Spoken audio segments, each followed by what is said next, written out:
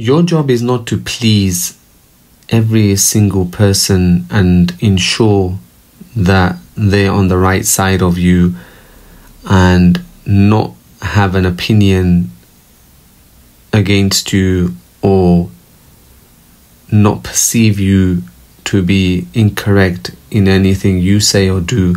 Your job is just to get on with your life and be the best person you can be. Now, no matter how good you are, no matter how many good things you do, you will always have people on both camps. You will have people who perceive you to be good, people who love you, people who love what you say, people who like listening to you, people who like to be in your company.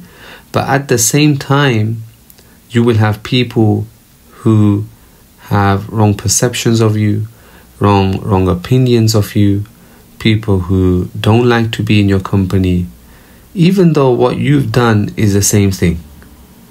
And this is something you cannot control. You cannot control this. And because you can't control this, don't let this affect you mentally.